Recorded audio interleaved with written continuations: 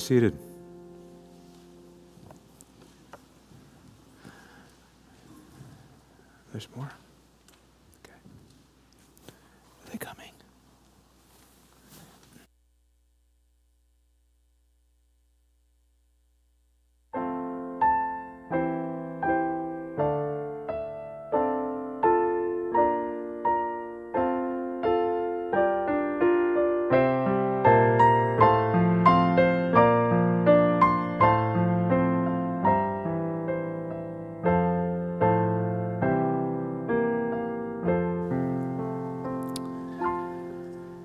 Good afternoon. I am Bill Slattery, son in law of Dr. Jay Adams and the pastor of the Redeemer Presbyterian Church, where he attended and where his wife, Betty Jane, is a member.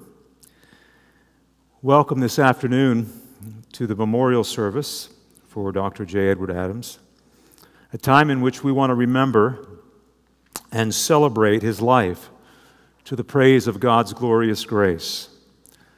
There will be scripture reading, singing, some reflection shared by family, ministry colleagues, and friends, and a message from the scriptures.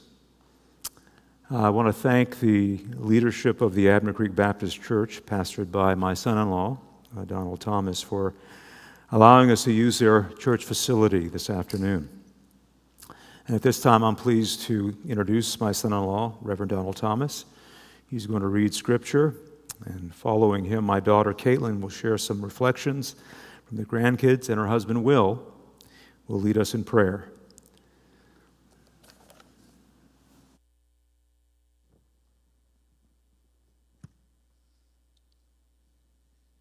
If you knew Jay, you know that he believed in the sufficiency of Scripture.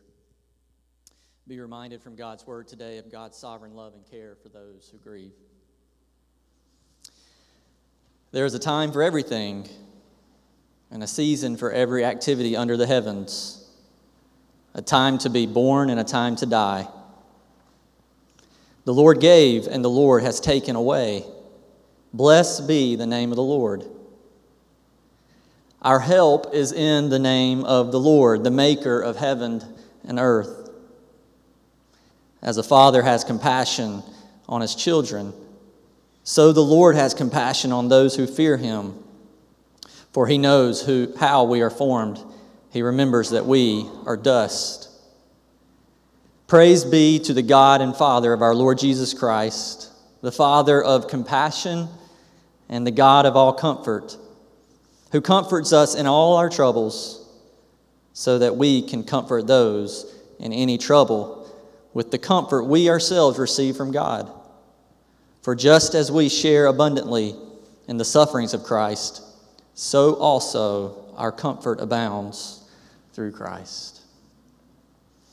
Just want to take a short moment to share briefly what Jay Gramps meant to me. The first time I heard of Jay Adams was in high school. It wasn't because of his preaching, it wasn't because of his books or his counseling. It was because I wanted to date his granddaughter. I remember Collier telling me in a matter of words that her grandfather had basically started the biblical counseling movement and that he had written many books. And as a high school senior, I thought, yeah, okay, it can't be that big a deal. I was wrong. I know he was suspicious of me when I first met him because I'm Baptist, of course. But he never gave me too hard of a time over baptism. He was always gracious and kind. However, he was concerned that I'd be reformed in my theology. And I wasn't when we first met. And we had many good and lively conversations, as you could probably imagine. I'll never forget the day I told him that I had been convinced of the doctrines of grace. He responded with the biggest smile in the world, That's great! And then he said, But what about the L? Speaking of the tulip, are you convinced of that too? I said, I am. He said, Good, because that's the meat of it all. He said, People who don't believe in that one are people who like eating sandwiches without meat. That's classic Jay Adams. And then in my first seminary class, it was Intro to Biblical Counseling. And at the top of the required reading list was Competent to Counsel by Jay Adams and other books of his. I remember telling my professor that Jay Adams was my grandfather in law, and he responded, No, he's not. I said, He is, and I live right beside him. No, you don't. I said, I do. At that point, I began to appreciate the ministry of Jay Adams. I thought I live right beside this man. I should learn all I can from him. And so I went over and asked him, Can we begin to study the Bible together? He said, Sure, come over every Tuesday and bring your Bible. So I did. The first day, I brought my ESV Bible, put it on the table, and he plopped his Greek New Testament, and I knew it was serious. And for a matter of weeks, Jay Adams walked me word by word through 1 John. I'm privileged that we had that time. And then we moved away to pastor a church in Maine, and Granny and Gramps listened to my sermons every Sunday night from a distance, of course. And I struggled early in ministry, doubting if preaching were a gifting or not. And Gramps never let me doubt. His words of encouragement kept me on, going many days. And I knew he wasn't just telling me what I wanted to hear. You all know he wasn't that kind of person. I've, been, I've considered him one of my biggest encouragers, and I will miss that. As I talked with him this past summer, he mentioned how hard it was to be confined to a chair all the time. I asked him, if you could do one thing unhindered for an hour, what would you do? He thought for a second, nodded his head. He said, I'd probably spend the first 30 minutes thinking about what I wanted to do. I said, Would you go fishing? He said, No, I've already caught the biggest fish I ever want. I said, Maybe you'd take Betty Jane dancing. And he looked down his nose and said, Hardly. I said, Maybe you'd fill in for someone preaching. And he thought and then nodded. He said, That's what I'd do. I came to respect the man and ministry of Jay Adams over a short amount of time. I'm thankful that I had the chance to know him closely. I'm thankful that he served as a mentor to me. I'm thankful that God gave him to the church. Many of you call him friend. Some of you call him pastor, counselor, professor, and preacher. One called him husband. Four called him dad. The family called him Gramps. And it's comforting to me to know that the Lord now calls him good and faithful servant. May we all be encouraged to press on toward Christ with conviction, perseverance, and grace, as Jay Adams did.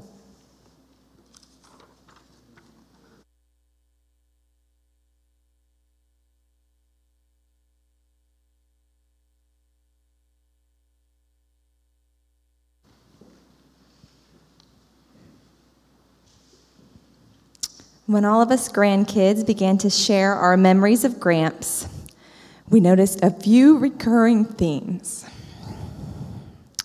First, Gramps was a gifted teacher. We learned so much from him. He taught us how to draw, how to whistle, how to drive the lawnmower, the Lawrence Welk cheek pop. Shh once he even taught us New Testament Greek, although that didn't quite stick. But we did learn how to speak Abendglabisch.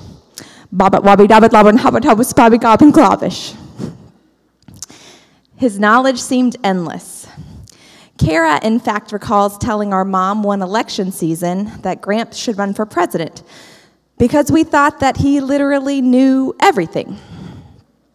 Then there's the memorable car trips, rides in the old blue truck that Cameron put a large dent in at the age of three, trips to the grocery die count. The S in discount on the sign had fallen off uh, to pick out candy bars. He would make us count out change from his coin pouch to pay, our, to pay ourselves. Trips to Do Drive In, where we enjoyed eating hush puppies and learning how they got their name. And we would have to wait an extra 30 minutes for the fried chicken that Gramps ordered every time. Our big road trip across the country before the days of GPS. Gramps had his giant road atlas with our route exactly highlighted. And of course, each car trip beginning with, We're off like a herd of wild turtles. Gramps had the coolest phrases snarky, hot ziggity, when you asked him how he was doing, making it. Get me that goody over there when asking for the remote. And of, of course, after enjoying a delicious meal, that hit the SBOD. We all remember Gramps as our loose tooth puller and bedtime storyteller. And each of us have our own special memories of Gramps. Luke raising alternating eyebrows with Gramps from across the dinner table.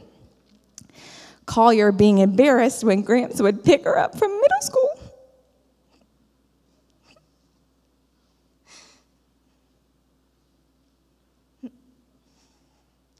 And yell, Peanut! out the window of his old gray Plymouth. Cameron being glad that Gramps could laugh at the sinking of Old Red, Gramps' pickup truck that rolled into the pond by Cameron.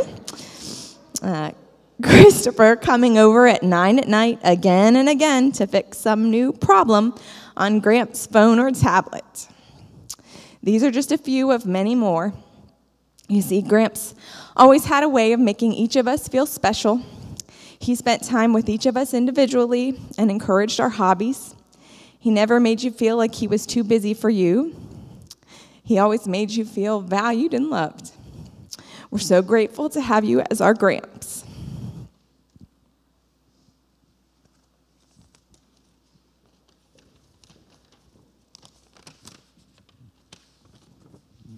I'm grateful and privileged to have been able to call him Gramps as well.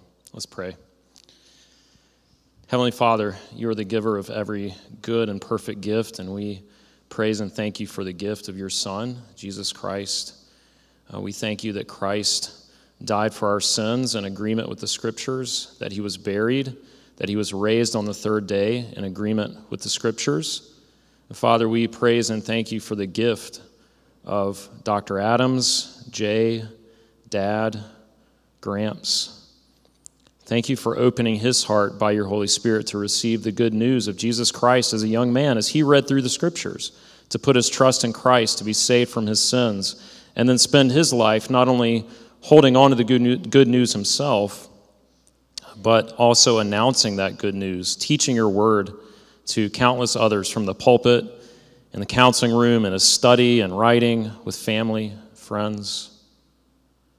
And Father, we praise and thank you for the hope that is in Christ, not only for this life, but for the life to come.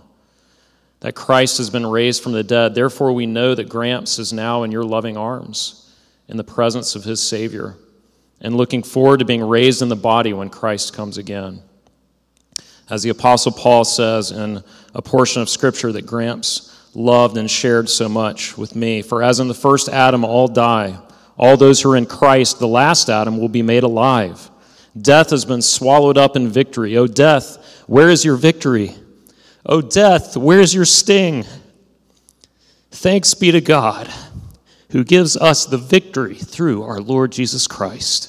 Father, we praise and thank you that because of your grace at work within Gramps, he was always abounding in the work of the Lord, Jesus Christ, not only in his public ministry, but as we've just heard, uh, even more profoundly in the ordinary moments of everyday life, in family, friendships, relationships, sharing stories and car rides and meals. And all of us, in so many different ways, have enjoyed and benefited from the fruits of his labors. We thank you. So, Father of compassion, God of all comfort, comfort us this day as we grieve, and in the coming days as we grieve, with the knowledge of this hope that Gramps is now and always will be with his Lord. And it's in the name of our Lord and Savior Jesus Christ that we pray. Amen.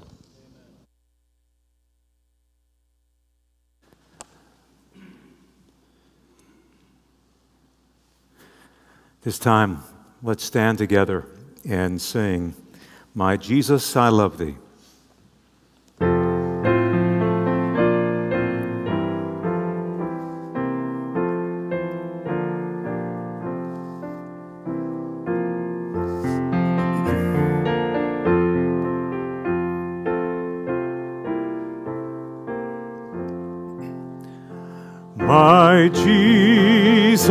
Jesus, I love thee. I know thou art mine. For thee all the follies of sin I resign. My gracious Redeemer, my Savior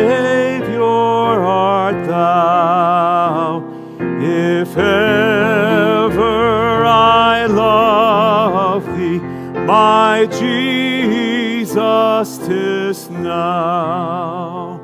I love thee because thou hast first loved me and purchased my pardon on Calvary's tree. I love thee for wearing the thorns on thy brow. If ever I love thee, my Jesus, tis now. I'll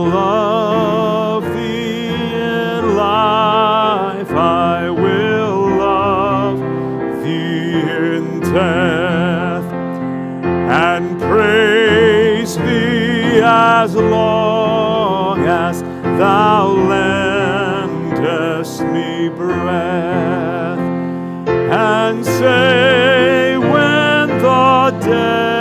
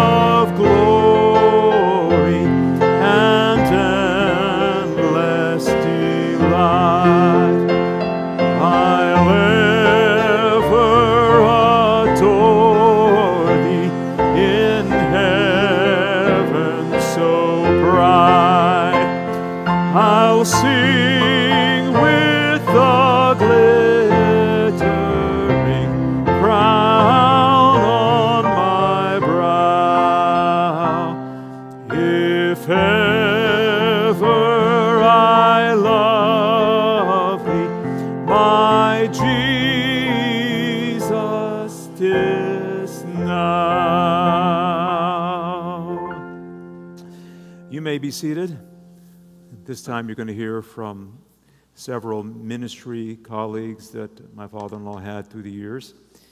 And they will introduce themselves, and they, these are all preachers. So I have explicitly told them they have two minutes. Uh, only one person has a little bit more, and that's Donn. And he's going to lead the way. Donn?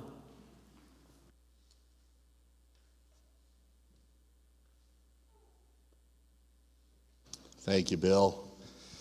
What a joy it is to talk about my friend Jay Adams. Uh, my name is Donn Arms. Uh, for the last 20 plus years, it has been my joy to work with him in a ministry called the Institute for Nouthetic Studies, uh, a, a ministry by which we made Jay's training available to people uh, by extension. We started off sending big boxes of VHS tapes to people, and that has evolved until now we can do it online, and it has been a joy to work with Jay. Recently, it is more recently, it's been my joy to work with him in keeping and putting back into print a number of his books. And I remember well a conversation I had with Jay uh, about a year ago as we were working through his New Testament. You all know, Jay has produced his own translation of the Greek New Testament. And we were going through uh, talking about some edits, some changes.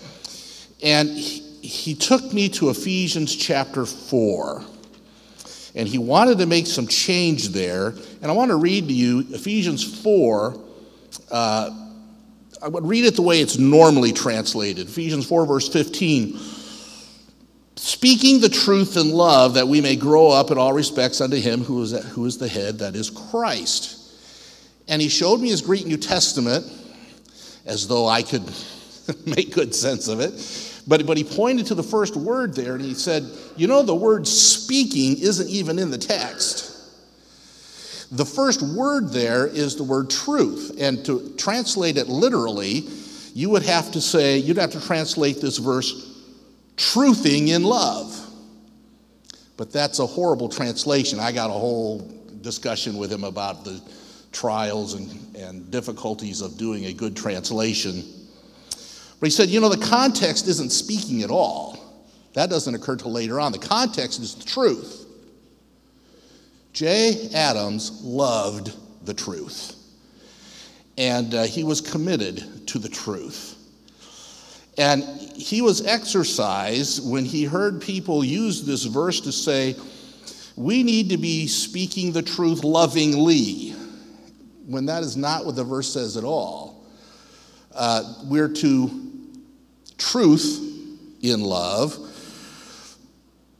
But Jay said, we're going to change that translation to maintaining the truth because in the previous verse he'd been talking about avoiding error and, and holding to the truth. And then, then in the rest of the verse he talks about holding to the truth. And so he said, we're going to translate that by maintaining the truth in love.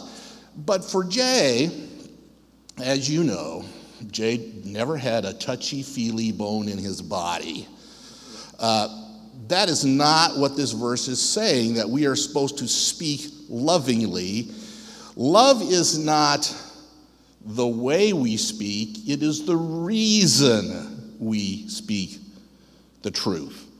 The truth is not, it is the goal in all this. So you ought to all get your copy of Jay's New Testament. You all have one, I trust. Uh, the newest version translates this by maintaining the truth in love. First time I met Jay was when I was a pastor in southern Iowa, and I was over my head. It was just a little county seat church, southern Iowa, and uh, I quickly found out I was not equipped for this. One of my deacons had. Uh, just left his wife, got involved in an adulterous relationship with a woman he met at work. Everyone in the church was related to this man, and I was lost. The, uh, this man's mother had been to the big city bookstore, Christian bookstore, and picked up a book that explained to her that the reason her son had gotten involved in this relationship was her fault. Because as a mother, as a child growing up, he didn't let this man sow his wild oats. And now he was experiencing a common psychological disorder called a midlife crisis. And so the reason that he's going through this was her fault. And I felt like I'd been stabbed because I didn't have answers and I wasn't helping this family the way I should have been. They've gone and they have picked up this stuff. And I, about that time, I learned Jay was speaking at Calvary Bible College just over the border. Uh, so I went down there and heard him speak, and I was amazed. And I, during one of the sessions when another speaker was speaking, he kindly uh, spent an hour with me. He did, he'd never met me before, and he listened to what I was going through, and uh, he just reached out and gave me a big hug. No, you know, you know he didn't do that. But what he did was he told me the truth. He told me what I really already knew, but he, he just very clearly told me that uh, there was a reason God, in his providence, put me in that church at this time in its history. And God was going to give me the ability to deal with it. And then He reminded me what the difference was between a shepherd and a hireling. Because I was seriously considering going back to work for UPS. But Jay, in his, in his wisdom, uh, just pointedly told me the truth. And uh, all the men sitting here on this platform and everybody who's had interactions with Jay could tell you the same thing that I just did is that Jay loved the truth and he wanted he believed that the most loving thing he could do for people was to tell them the truth. I don't have Jay to teach me those things anymore, but I have what he has written. And I am so glad that we have left for us a deposit of truth. And uh, several years ago, Jay and Betty and the family entrusted to us the legacy of Jay's books. And it is now my life's purpose for whatever life God gives me the rest of my life is to watch over that trust. And I commit to you, Betty, and the family, that we at Mid America Seminary and the Institute for Nouthetic Studies will be careful stewards of that trust. Not only for your sake, but for the sake of the church of Jesus Christ at large. Can you imagine what God could do through the church of Jesus Christ these days if we could get people reading J. Adams?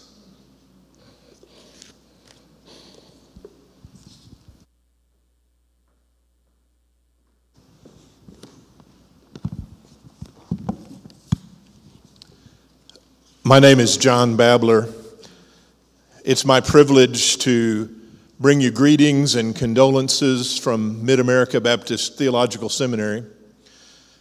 Some of you may not know that at the young age of 86 years old, Dr. Adams began a new biblical counseling program at Mid America Seminary. It's my privilege to have taken over as chairman of that department this past summer and I'm just honored for the opportunity uh, to continue, along with Donn and INS, to uh, keep the heritage before people of uh, Dr. Jay Adams. While Jay has passed on from this life to his heavenly home, he lives on.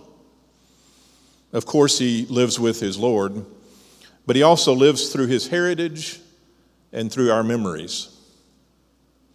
His heritage is rich his family, their impact for the Lord, his lasting impact in biblical counseling and in the churches that he has led, his writings, his friends and colleagues are just a few examples of that ongoing impact. He lives on through our memories as well.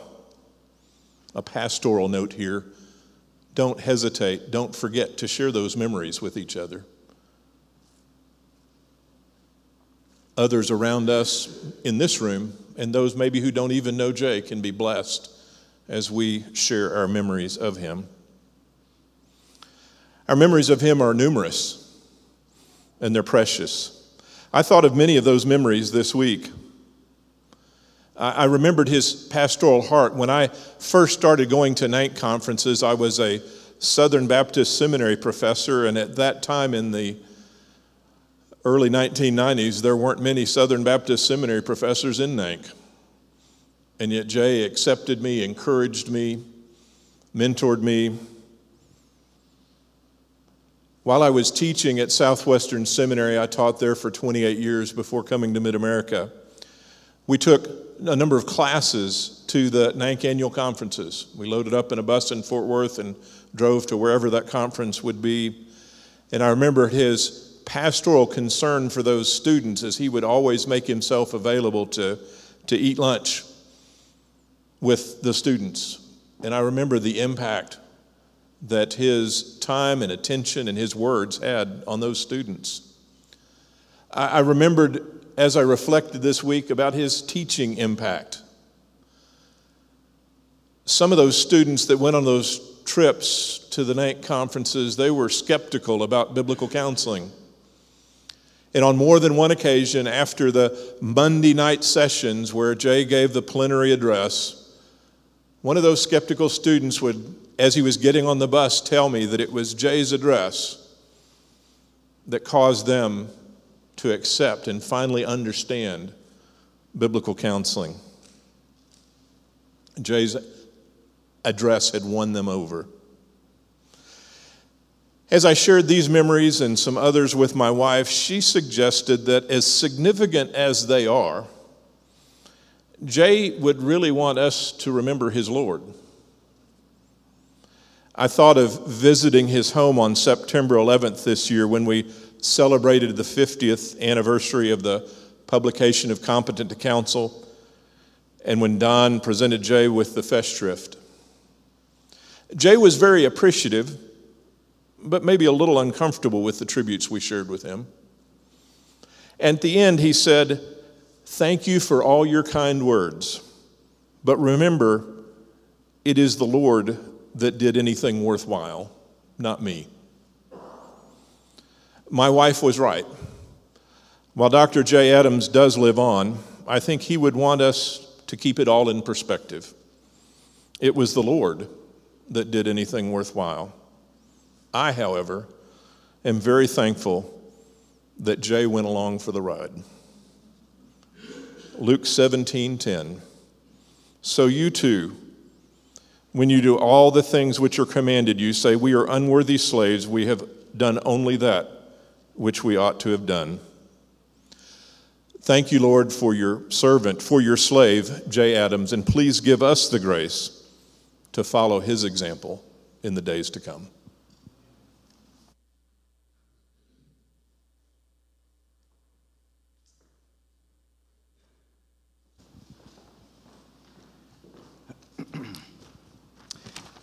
I'm Bill Hill. I've had the privilege to consider Dr. Jay for the last three or so decades a mentor and a ministry friend. Occasionally, I would call his home early in my pastoral ministry. Miss Betty, sweet, gracious Miss Betty, would answer the phone and I would tell her who I was and she would say, Well, we're glad you called, Bill, and let me go get Jay. And Dr. Jay would get on the phone, and I would say, Hello, Dr. Jay, I'm Bill Hill from Brevard. And he would say, Well, hello, Bill Hill from Brevard. Uh, inevitably, he would always greet me that way. Our pastors for Nouthetic Ministry team that we had organized for probably 20 plus years had the opportunity many times of meeting with Dr. J at a little Italian restaurant in Enoree, South Carolina. And we would sit around that table and interact with questions. We had a little food and a whole lot of wisdom uh, from Dr. J as he would respond to our questions. And he loved to do that. Uh, he indicated that that was one of his favorite venues for teaching and interacting was just being able to field questions. And uh, we had many of them. He affectionately dubbed us the Baptist Bunch from uh, North Carolina, and uh, he was gracious with all of us Baptists and was very kind. And he would always get the plain cheese pizza. He said that always set better with his diet and so forth. So, Miss Betty, you would be pleased that he stuck with his diet. His prolific pen was powerful. He had a unique ability to address the very issues faced by young and old pastors alike, not in theoretical, hypothetical, or merely academic ways, but in ways that brought the appropriate biblical text to the milieu of life, one of his favorite terms, by the way. One man uh, stated several years ago it's easy to be hard to understand. It's hard to be easy to understand. Dr. J labored to make his teaching life related. Easy to understand and easy to use. He would put the cookies on the bottom shelf so they were easily accessible. Dr. J lamented complexity is often the cover for error. His teaching was the antithesis of that. One of the characteristics that I so appreciated about this man was he was available. He was approachable by the ordinary little pastor. He was easy to get to because he was willing to be gotten to.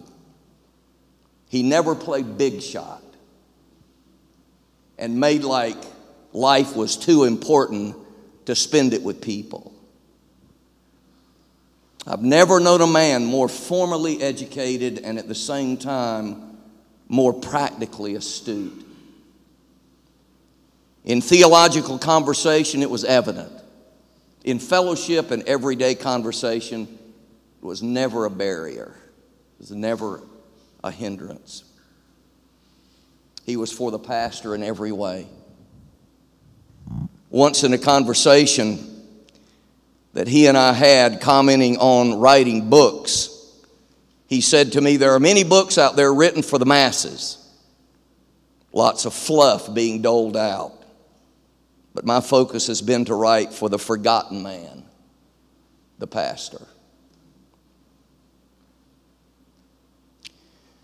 He was a shepherd to shepherds. He was a shepherd to me. His influence will always be woven into the fabric of my life, my family, and my ministry. I am profoundly grateful and indebted to the life and ministry Dr. J. Adams.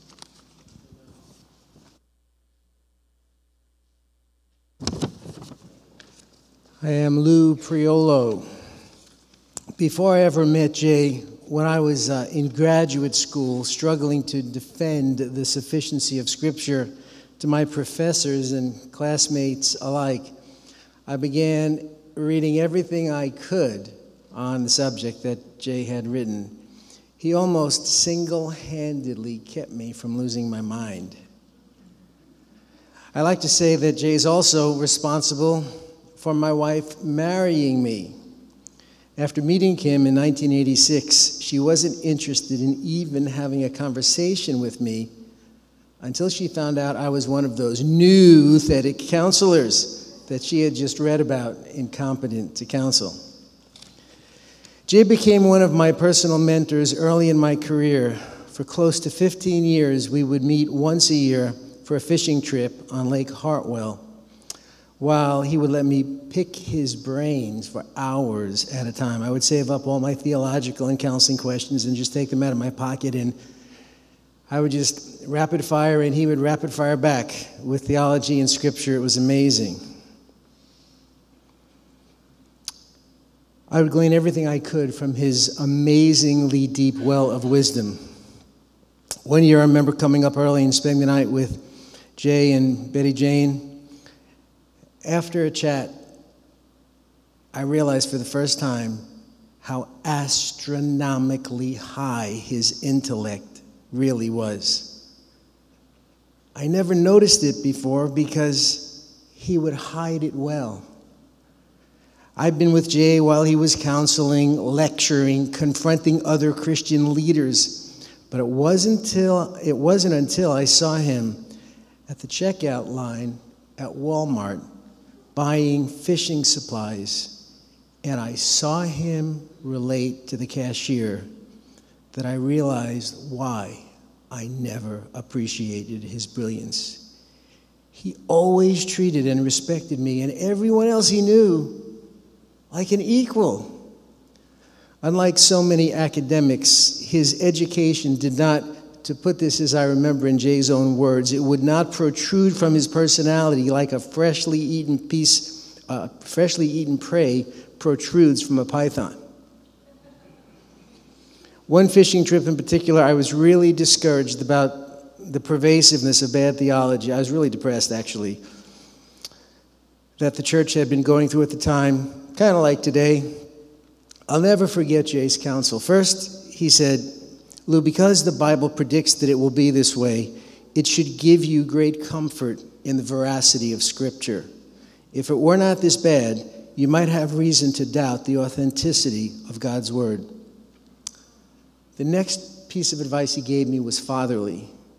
He said, Lou, just stay close to the theology of the reformers, and you will not be led astray. I believe Jay will go down in history as one of the most notable reformers of the 20th century. Jay was a faithful friend to me, and I know I'll see my friend again. And I look forward to spending an eternity of fishing trips with him on the new earth.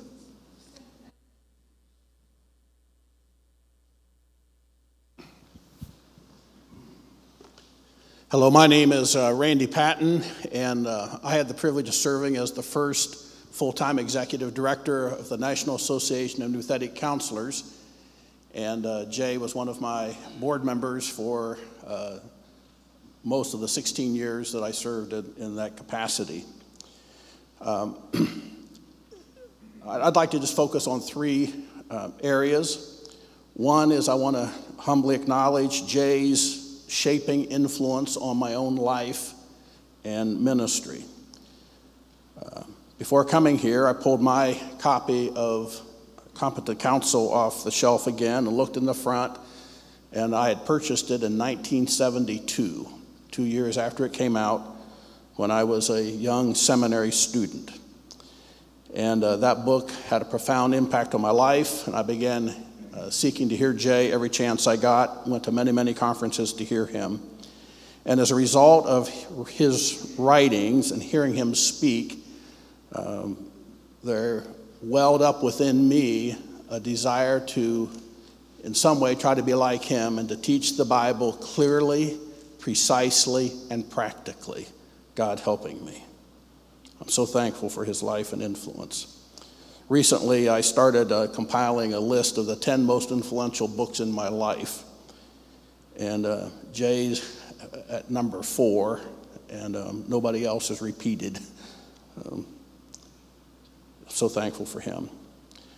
Another area where Jay influenced me, this time by uh, observation, was that I saw that you can be a man of theological conviction, a man of strong theological convictions, but gracious when you're dealing with people with whom you differ in some of those areas.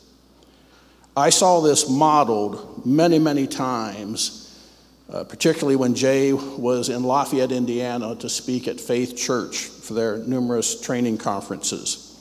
And I observed his friendship with Bill Goode, Pastor Bill Goode, and Dr. Bob Smith, both men who held to their uh, Baptistic theological positions with just as much fervor as Jay held to his Presbyterian distinctives. And yet to see the warm, loving friendship that they had um, was just tremendous. And I purposed that I wanted to be like that. And to believe what I believe firmly, but to be kind and gracious with people that differ. I saw this happen in a personal way during the early years of my tenure as the executive director, and when we're just still trying to get nouthetic counseling uh, more broadly known, uh, we did what we called one day symposiums, where we'd go to a particular city and hold one day of training, and Jay would do three uh, general sessions, and Cindy and I and another speaker would come in, and we'd do a couple workshops. And then we'd travel, and go to another city three or four hours away, and do the same thing the next day or the day after. And one time while we're traveling, uh, Jay's in the back seat behind Cindy and me in the van, and somehow the conversation got on eschatology. And my wife, who'd only heard me talk about Jay and commitment to biblical counseling and everything, discovered to his chagrin that he did not hold to a pre trib, pre mill position in eschatology. So my wife is turning around and engaging in this argument or questioning with Jay. You don't believe in Jay dealing with her. And I'm sitting there thinking, honey, be careful who you pick your theological debates with. and I thought recently, you know, if we could have videoed that, it would be a YouTube hit for sure these days, seeing how kindly and graciously he uh, dealt with Cindy. We had some, some good laughs about it later. During the 16 years I was the executive director, I don't remember Jay speaking to me one time in a harsh way, even though I'm sure I disappointed him on many occasions.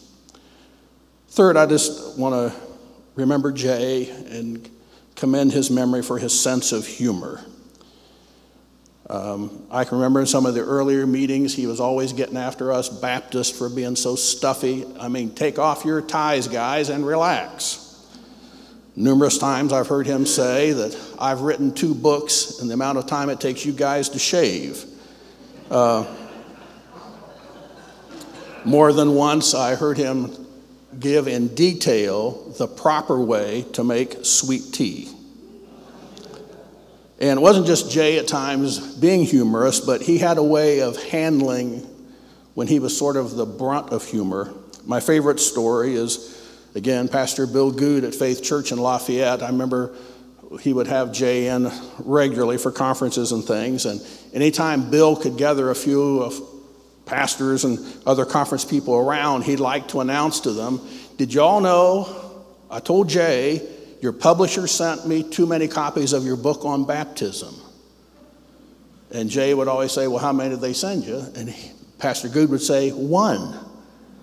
And um, we would, of course, laugh, and Jay would laugh too. And just that wonderful warmth of the commitment to the scriptures, and yet such a gracious, kind man. I'm so thankful for his life. And Betty Jane, my wife, and I express our sympathy for you and to you. We'll be praying for you and God's comfort in the days to come.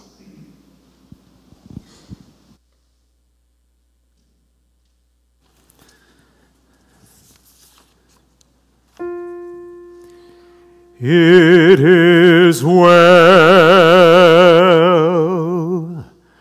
with my soul.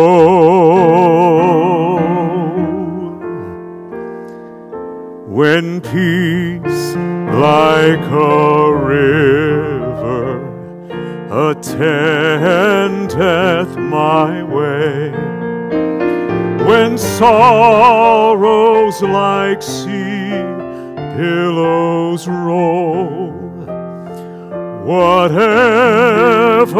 my lot, thou hast taught me to say, It is well, it is well with my soul.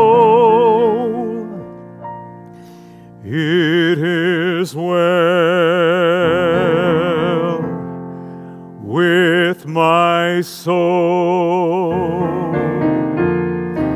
It is well, it is well with my soul.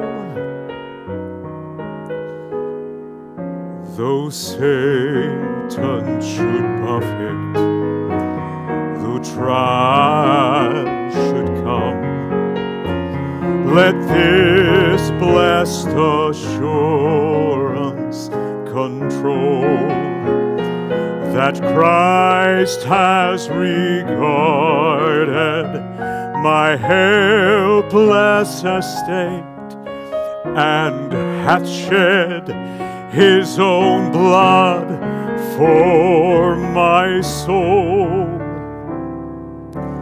My sin, oh, the bliss of this glorious thought.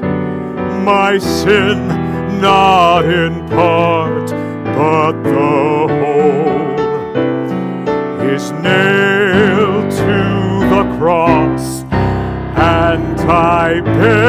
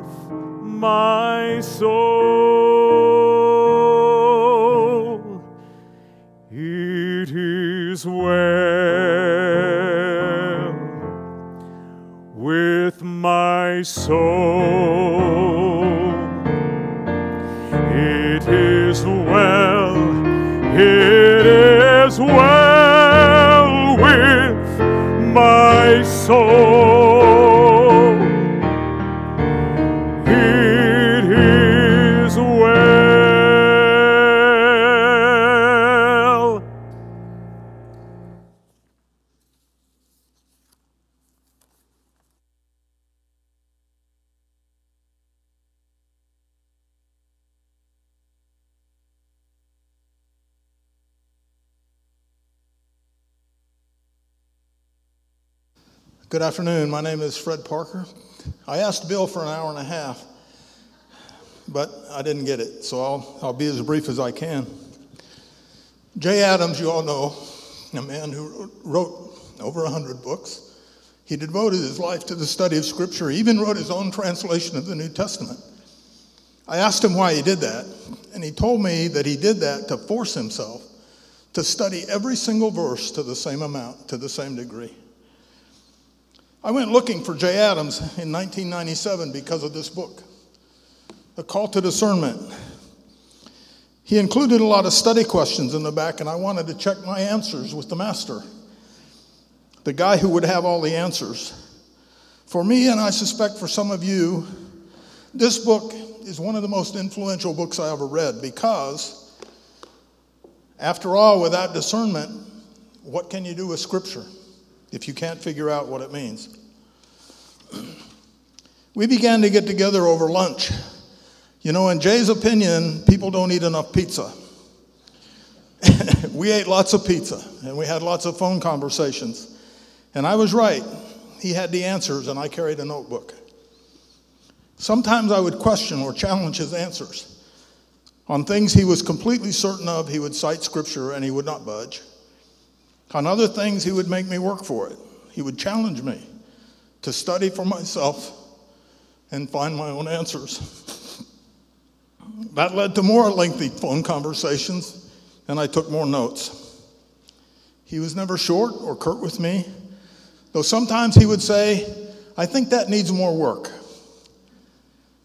Or even other times, and he would agree with me and say, ah, That's really good. I never thought of it like that. Imagine me teaching Jay Adams. As long as it was biblical, it was worth talking about. But then, there were those few times when I would be struggling with a particular passage of Scripture. And he would look at me across the lunch table and he would say very simply, I don't know. And when this first happened, you can imagine what I'm thinking. Wait a minute. You're Jay Adams. You've read, it, read everything. You've studied everything. How can you not know? You even wrote the book on difficult passages. How can you not know? But I came to understand that I was seeing into the heart and soul of Jay. His strength of character was built on integrity, honesty, and total humility, all captured in that simple statement I don't know. He was never afraid to admit that there were things in the Bible that neither he nor any of us can fully understand in this life. Can you also imagine the credibility that that gave him in my mind? I could always know that he would never make things up to make himself look good. I might push back or come to different conclusions, but Jay would never, never knowingly lead me astray. Well, now he's getting his own answers from the master. J. Adams, a man of integrity and character and humility, who was not embarrassed to admit, I don't know. Thank you.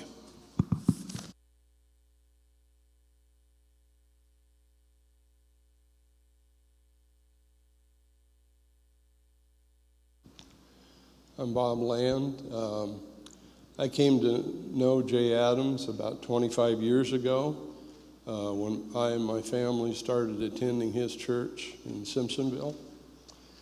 Um, I became good friends with Jay through the years, and after he retired, um, I found out that he really liked to trout fish. And so I planned a trip to Montana for three days of guided trout fishing. We went out there and we flew into, Helena, I think, and drove into Dillon, Montana. That night we went out to dinner at a little restaurant. And we walked in this restaurant and sat down. The waitress came over. She was just cheerful and chipper. And she says, What would you like? And Jay said, Well, what I'd like, I don't think you're going to have.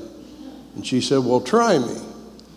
He said, Well, what I'd like is I'd like some cornbread broken up into pieces, put in a tall stem glass with ice cold buttermilk poured over it and a long handled spoon. She kind of chuckled and she said, Well, what's your second choice?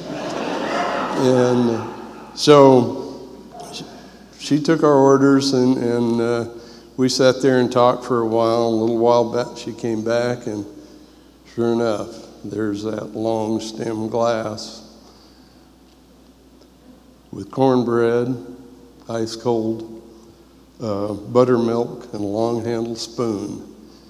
And the look on his face was what I remember the most about the whole trip. You know, fishing was great in Montana, but that's what I will remember the most about that trip was just he was just beaming when he saw that. so it was it was a it was a special three days for us. Um, you know, I can I can go on on and on about how Jay's preaching and his teaching and his writing affected my life.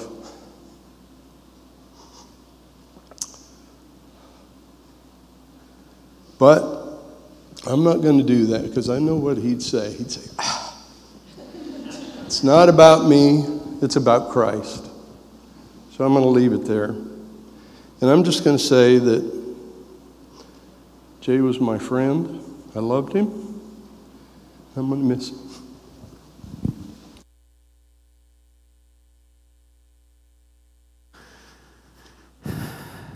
Thank you, Bob and Fred, for your words. The first time I formally met uh, Dr. Adams was after I wrote him to ask permission to date his daughter, Heather. The day that I met him, it was at Word of Life Inn, and we were seated and just talking. And at some point in the conversation, he says, Bill, I have something for you. And he presented to me Louis Berkhof's systematic theology.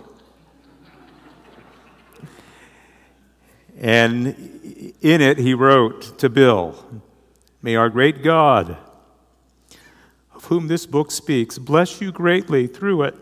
J. Adams. He was determined even then, to straighten out this Baptist boyfriend of his daughter's. And it worked. Very patient. For the next 37 years, God used my father in law to help me grow as a, as a son and servant of God. In college and seminary, we talked about passages of Scripture and theological issues raised in class. In 1990, we started the Harrison Bridge Road ARP Church. Then in 1995, I came to this area to start Redeemer ARP Church.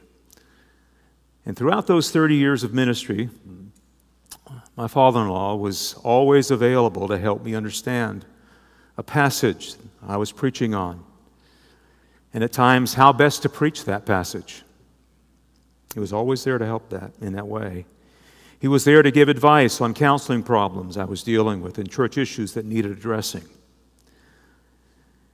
What I experienced personally over all those years was a microcosm of what his mission was for pastors in general. He loved the church, he loved the pastor. He wrote to help the pastor in his ministry. Another lesson he taught me by his example was the genuine love he had for his wife, Betty Jane. After the Lord, there was no person on earth he loved more. It was and is an example and a motivation to me. So, God, thank you for my father in law, Jay Adams, for your son and your servant.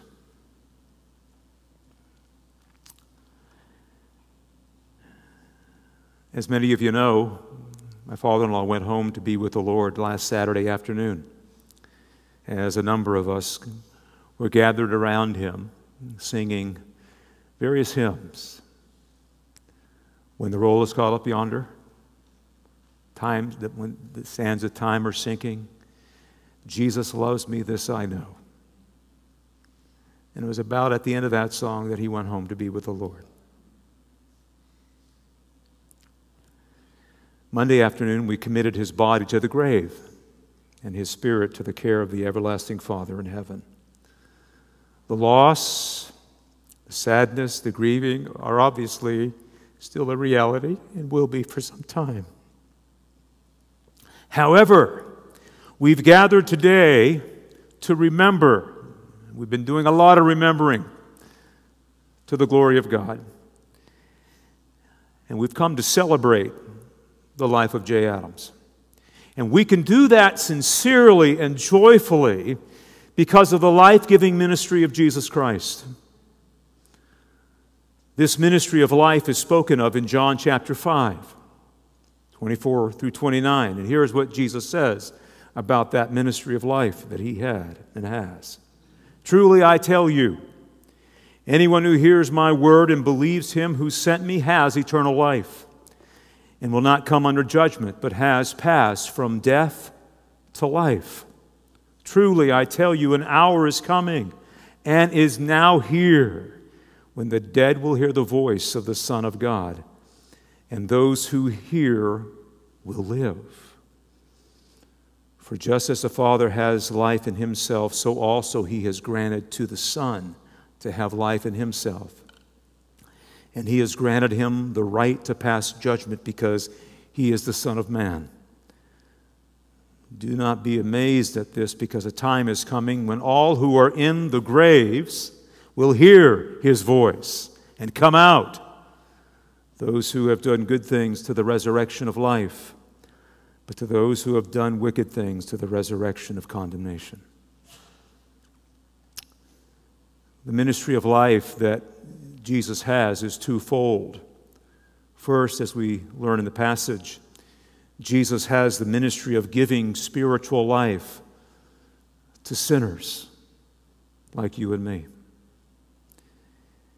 Every one of us is born into this world a sinner. We inherited the guilt of Adam's sin, and also we inherit a corrupt nature. And it's from that nature that every one of you have sinned through the course of your life. As sinners, we are also born spiritually lifeless toward God. Ephesians 2, verse 1 says, You were dead in your trespasses and sins. And what this means simply is that from day one, you had no inclination or responsiveness toward God and no ability whatsoever to please Him with your life. And to make matters worse, there was absolutely nothing that you could do about it in and of yourself. And left unchanged, the sinner will die in his sins and face life without God for eternity in a place of torment. Well, Jesus entered the world to do something about that. He came into the world to give spiritual life to dead sinners like you and me.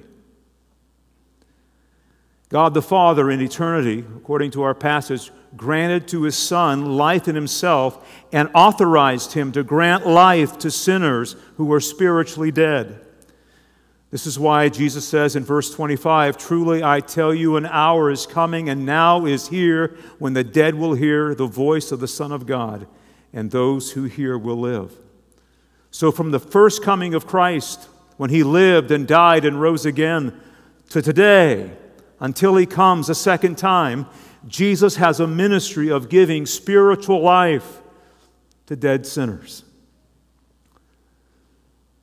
So when a spiritually dead sinner hears Jesus' voice and the words of the gospel, accompanied by the life giving Spirit of God, that person crosses from death to life and receives eternal life when they believe in Jesus Christ.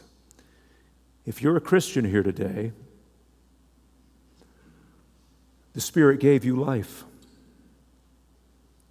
And you heard the voice of Jesus and the words of the gospel, all of which led you to trust in Him for salvation. My father in law was 15 years old when all that happened. He was made alive. He believed in the gospel due to the faithful ministry of his friend Milton Fisher, who gave him a copy of the New Testament to read. He read it, and he was converted. And he never stopped reading after that. He would say, Bill, God gave me a voracious appetite for the Word of God. And it clearly showed. In large part, this is why we can celebrate a life well lived by Jay Adams for God and for the spreading of his kingly rule. Because of the spiritual life given to him by Jesus, he could, and by the grace of God, he chose to live in the way that he did. Jesus' ministry doesn't stop here. We learn in John that Jesus will raise to life physically those to whom he has given spiritual life. Listen to what John says again. Do not be amazed at this, what I've just talked about, because a time is coming when all who are in the graves will hear his voice and come out. Those who have done good things to the resurrection of life, but to those who have done wicked things to the resurrection of condemnation. So, those who've heard Jesus' voice in the gospel and were made alive and believed in him for salvation they will hear the voice of Jesus again when he returns a second time. The voice of Christ will call forth the dead and believers, like many of you here today, and my father in law, will be raised from their graves, be united with their perfected spirits, and will live eternally with God in a new heavens and a new earth. Others, will be raised as well on that day. Notice how Jesus puts it those who have done good things to resurrection of life, but those who have done wicked things to the resurrection of condemnation. That latter group is the unbeliever. You see, due to the unbeliever's lack of saving faith, the faith that saves, there will be no evidence of the fruit of faith. And so, Christ, the divine Son of God and Son of Man, the eternal world ruler prophesied in Daniel 7, who was raised from the dead and authorized to judge the world, will look at the wicked works of the unbeliever and will condemn him to eternal life in hell. On the other hand, with the believer, there will be the evidence of good fruit growing out of the soil of true saving faith, the faith that saves. Not perfection, but attitudes and actions that are good in Christ that grow out of that gift of saving faith that God granted or God grants to sinners like you and me. And as a result, believers, saints of old, many of you, and my father in law will be ushered in the consummated kingdom of God to live forever with Him to enjoy resurrection living in the new creation. What a day that will be. This is also why we can sincerely and joyfully celebrate the life of Jay Adams in this service. We're going to see him again in the new creation.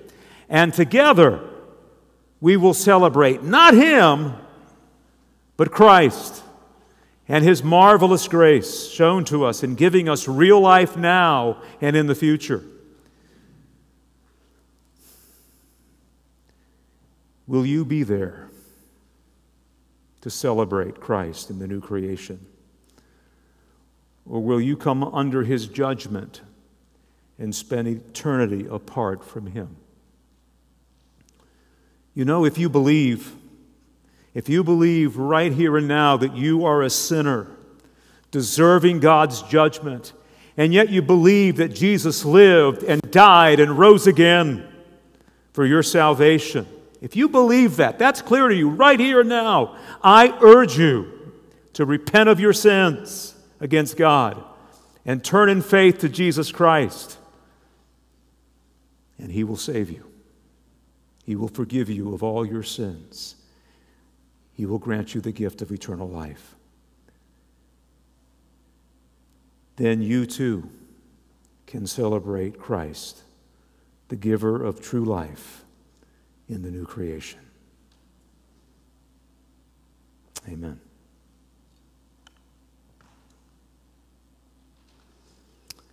This time we're going to sing the song in Christ alone.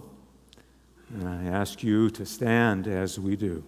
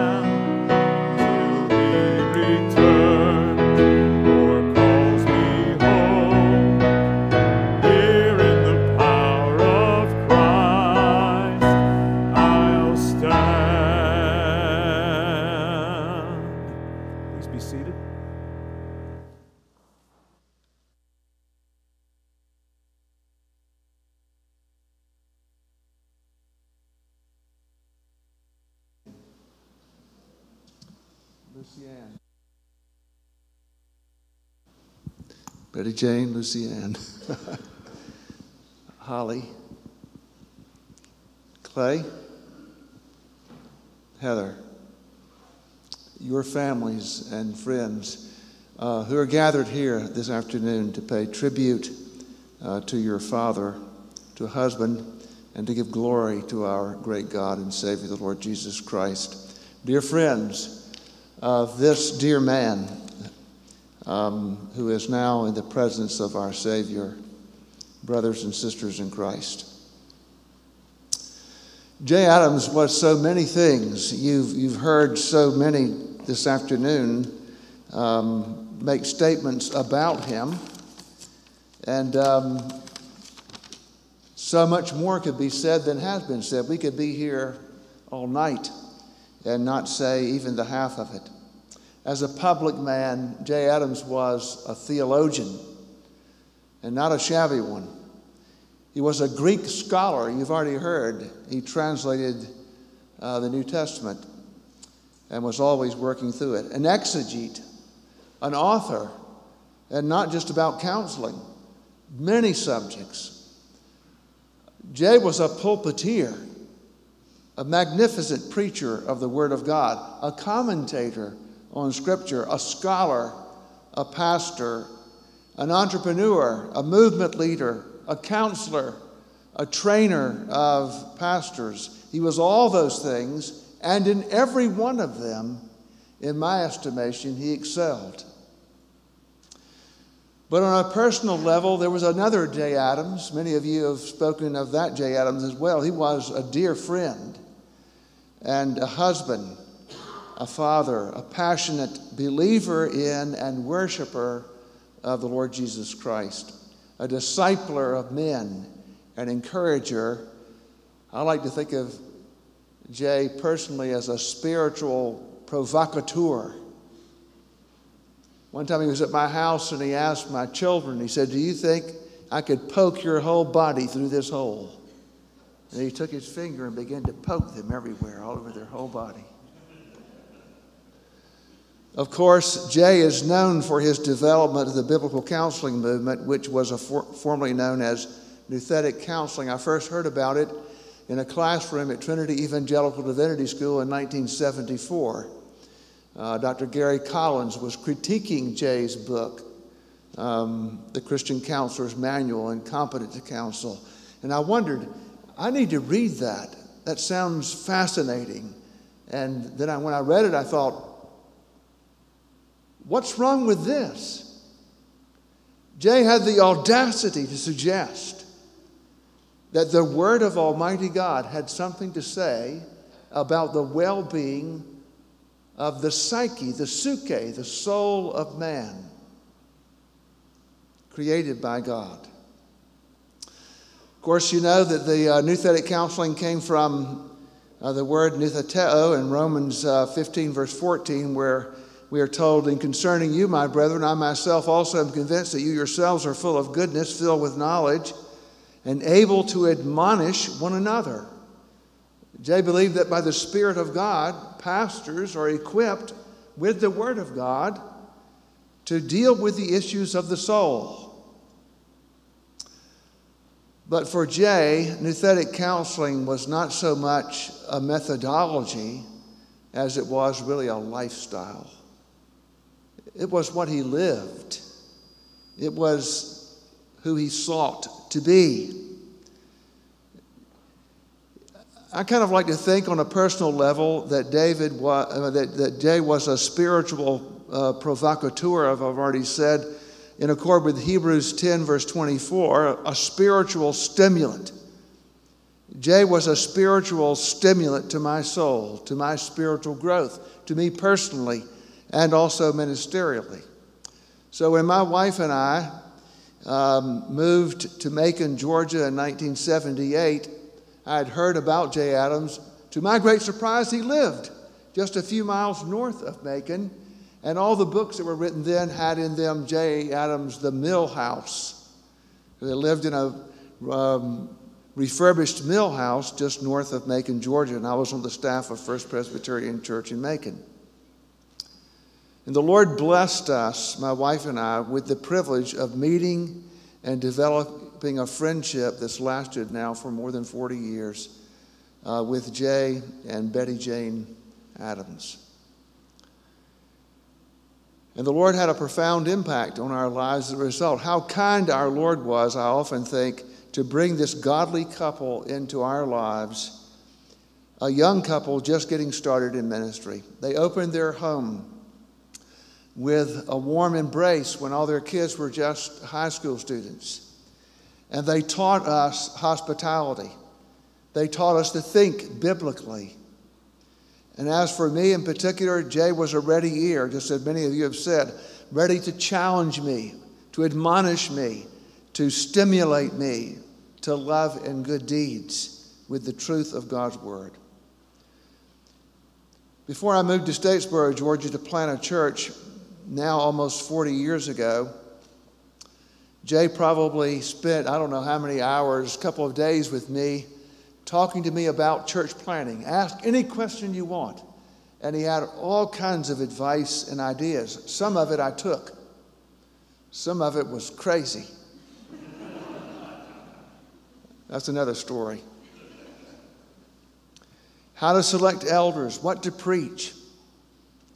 Even traveled to Statesboro, Georgia, a little nowhere place in southeast Georgia, to baptize my second child in a room over a cafeteria on the campus of Georgia Southern University. And he preached in that place just like he did from the pulpit of great churches. Jay was a spiritual stimulant for my sanctification. How I thank God for that man. Now, of course, as you well know, he could also be a wise guy once he gave me a book here. He's given books to many of you, I'm sure, as well. He gave me a book, and uh, when I received it, I said, Thank you so much. I said, Would you write something in it? He said, What would you like for me to write? I said, I don't know, write something neat. So he took the book and he wrote something in it and he gave it back to me. And I looked at it, and there were the two words something neat.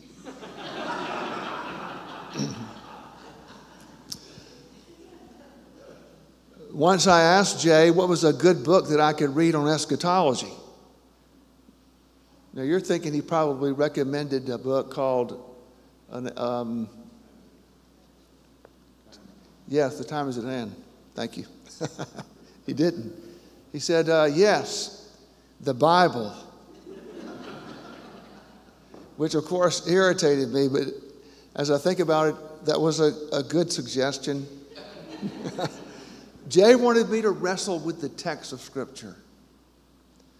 So I stand before you as we conclude this afternoon, and I give thanks to the Lord Jesus Christ for what he wrought in this man's life and how he used him in this world, in the church, and in my life in particular.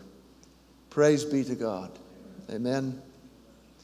The Apostle Paul says, Give honor to whom honor is due Sometimes we fail to give honor to those whom honor is due. Sometimes we give honor to someone to whom honor is not due. Today, this afternoon, we give honor to one to whom honor is due. Knowing that all that we honor is that very work of the grace of God in a man's life that makes him to shine as an image bearer with the reflected glory of God. Let us pray. Heavenly Father, we thank you for the life of our dear brother, Jay Adams, now departed from this earth to be with you and to wait for that coming day of resurrection and the establishment of new heavens and new earth when we will all be reunited. Thank you for the manner in which our lives have been enriched by your work in and through him by your grace.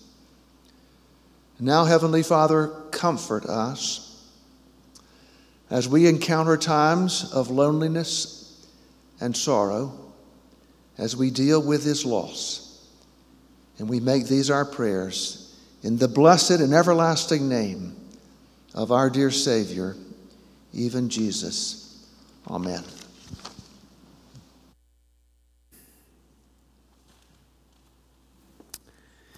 Thank you, Roland Barnes. Roland is the pastor of the Trinity PCA Church in Statesboro, Georgia. I want to thank you all for coming and being a part of this occasion, and for the, all of you who participated, thank you. Now receive the Lord's benediction. Now may the love of God, the grace of the Lord Jesus Christ, and the fellowship of the Holy Spirit be with all of you, both now and forevermore. Amen. There'll be a receiving line outside some distance, okay? But family is going to exit now, and, and uh,